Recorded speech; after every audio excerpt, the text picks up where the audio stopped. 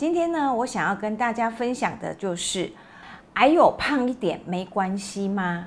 还是矮有要瘦一点？哦，当然我们都知道，呃，癌症的病患不能瘦，因为你一瘦你就没有抵抗的能力，哈，你没有营养的基础来对抗这个疾病，所以癌症病患是绝对不能瘦啊。那矮有胖一点呢？胖一点好不好？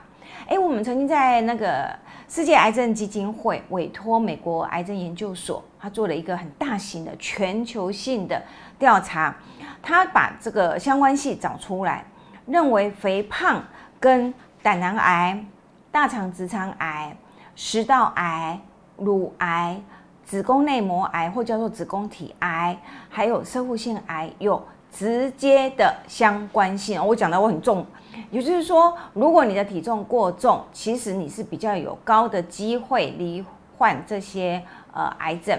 为什么这么说？呃，因为我们在饮食当你会呃体重会过重的时候，其实应该是说你的饮食里面可能摄取过高的热量，或者是过多的油脂，或者是过多的糖类。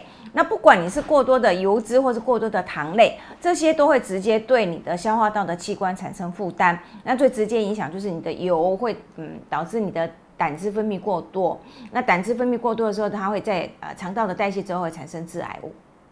那另外一个，你饮食里面摄摄取过油的东西，相对你蔬菜纤维一定吃的少，所以跟大肠直肠也有直接相关性。还有另外一个呢，当你的体重过重的时候，你的脂肪细胞增加的时候，其实你会影响到你身体里面对荷尔蒙的代谢。举凡跟生殖器官相关性有荷尔蒙相关性的癌症，就几乎跟体重过重有关系。所以包括乳癌、子宫体癌、射护腺癌，几乎都被认定跟呃癌症的发生有关。也就是说，你不能太胖，你太胖的话，你呃罹患癌症，这些癌症的几率就有关系。呃，世界癌症基金会他们发布出来是总共有十三种癌症都跟体重过重有关系。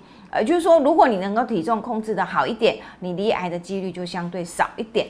而且呢，我们还发现的是，这些癌症，如果呃这些癌友如果在他的癌呃疾病演进的过程里面，体重没有好好的去控制，还是一直放任他体重过重的话，其实那个预后是不好的。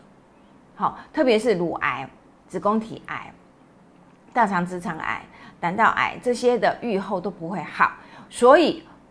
我这个题目下在这里，胖一点没关系吗？其实不对，对矮友来讲，你应该让你的体重控制在标准体重里面，但是绝对不能过瘦。好，我们希望是你在标准体重的上限，而不是在标准体重的下限。好，因为我们的疫情关系，你看我在网络上看到这一张门，这张图哦，真的超好笑的。他说，当疫情结束的时候，开门就会涌出一大批的杨玉环，将会再现。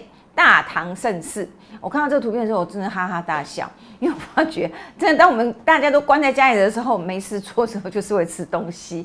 所以呢，我们不可以让这样子的噩梦出现啊！我们应该在这个宅在家里的时候，你还是必须要远离你的防疫胖，你不能因为防疫而让自己的体重过重哦。